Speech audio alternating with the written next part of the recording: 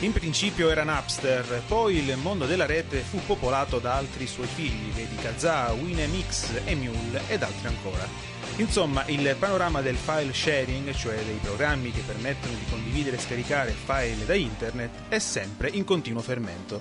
Un fenomeno che se da un lato ha fatto felici milioni di utenti, dall'altro ha messo in crisi le case discografiche. Infatti la musica è il prodotto più ricercato. Figlio di questo mondo, anche se con caratteristiche diverse, è il neo arrivato Music. Questo software consente di ascoltare, quando si è collegati alla rete, tutta la musica contenuta su YouTube. Il padre di queste innovazioni è l'americano David Nerson, un piccolo genio di soli 15 anni. Music consente agli utenti di ascoltare la musica senza dover caricare i video e la pubblicità, il tutto gratuitamente. Interessante la funzione della playlist che trasforma il programma in una vera e propria web radio.